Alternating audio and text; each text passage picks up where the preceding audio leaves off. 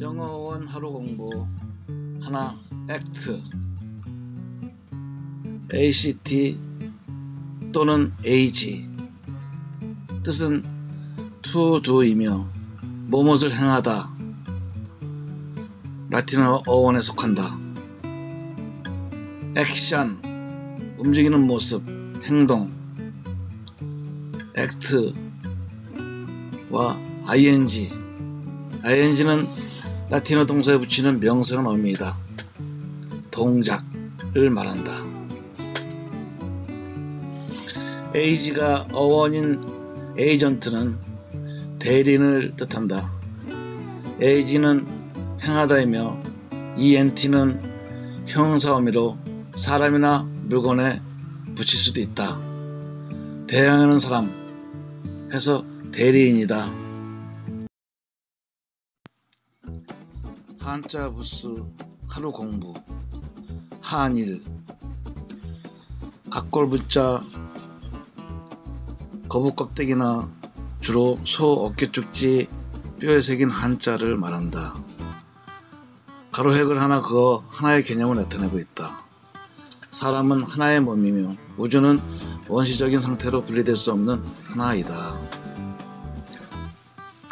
한일자가 들어간 한자로서는 일부, 전체 한 부분, 한 번이란 뜻이며 일반, 한 모양 같은 모양, 보통이란 뜻이며 일단, 한 번, 우선, 잠깐이란 뜻이다.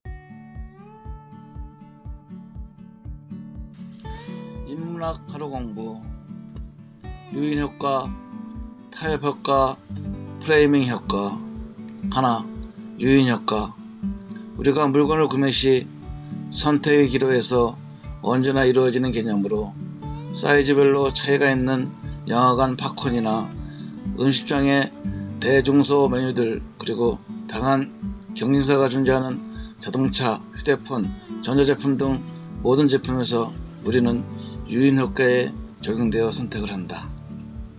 유인효과의 개념은 기존 제품에 비해 비대칭적으로 열등한 새로운 대안이 등장하여 미끼 상품의 역할을 수행하면서 새로 진입한 대안과 유사한 기존 대안의 선택 확률을 오히려 증가시키는 현상을 말한다. 유인 효과가 발생하는 이유는 소비자가 극단을 피하고자 하는 타협 효과가 발생하기 때문이다. 비락식혜와 비락수정과 기존의 음료 시장은 콜라와 사이다 같은 탄산음료, 오렌지, 포도 등의 주스류, 포카리스웨트 등의 이온 음료, 녹차, 둥굴레차와 같은 차음료 등 크게 네 가지로 나뉘었다. 각각의 제품군은 청량함과 시원함, 신선한 과일의 달콤함, 운동 후 빠른 갈증 회복, 건강 음료 등을 내세워 소비자에게 어필하고 있다. 비락시키는 기존의 네 가지 제품군에 들어가지 않는 독특한 제품으로 우리나라 사람들에게는 익숙한 음료지만 세다가 공감한다는 감성 광고를 앞세워 소비자의 호감이나 흥미를 이끌어냈다. 2007년 두 번째 광고 고향은 비락스케가 본격적인 유인효과 전략을 펼친 광고이다. 시골 고향의 정겨운 풍경과 고향의 어머니가 담아주신 듯한 식혜가 나온다.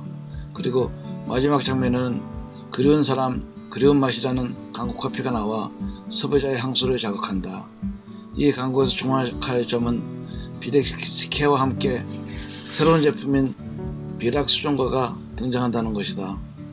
유인 효과로서 비락수정과는 비락시케와 더불어 전통류라는 새로운 음료 시장에 범죄를 만들었고 기존에 판매되던 비렉시케의 이미지를 전통음료로서 확고히 했다. 따라서 유인학과의 비락시정과는 위키 상품 역할을 수행하며 기존에 있던 비락시케의 판매 점유율을 높이고 그 매력도를 증가시키는 계기가 되었다.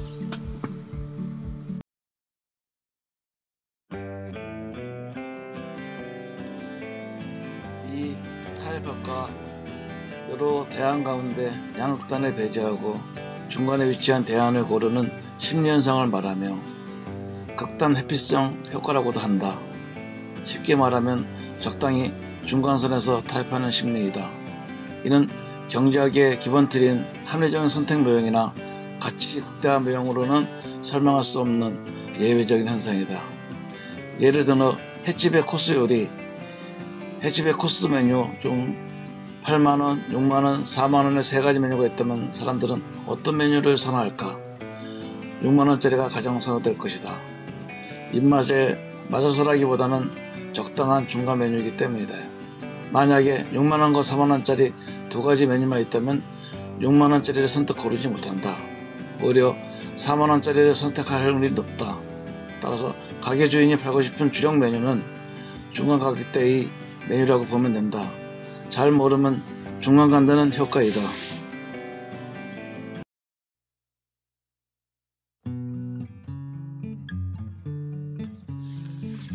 프레이밍 효과 같은 문제를 하더라도 제시하는 대안에 따라 결과가 달라지도록 영향을 주는 현상으로 행동 경제학의 대표적인 사례 중 하나이다.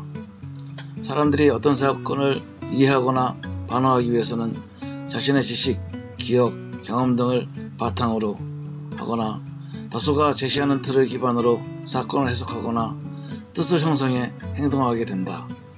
사회 가학 이론으로는 사람들은 위험이 인지된 이득과 손해에 대해서는 손실회피 성향을 보이며 상대적으로 확실한 이득이 나오는 안을 선호하여 긍정적인 반응을 보이거나 긍정적인 제안을 선택할 확률이 높아진다. 예, 서울 우유 왕관 제조업자 채세포수 서울 우유는 지금도 우유팩에 왕관 마크와 왕관 마케팅을 통하여 소비자들에게 신선한 우유는 왕관 현상이 있으며 서울 우유라는 인식을 각인시켰고 2009년 7월부터는 우유팩 상단에 제조일자를 표기에 제조일자를 확인하자는 마케팅을 실시하며 높아진 신뢰도를 바탕으로 우유 선택의 기준을 변화시키며 판매량을 늘려가고 있다. 현재는 체세포스 광고를 진행하고 있다.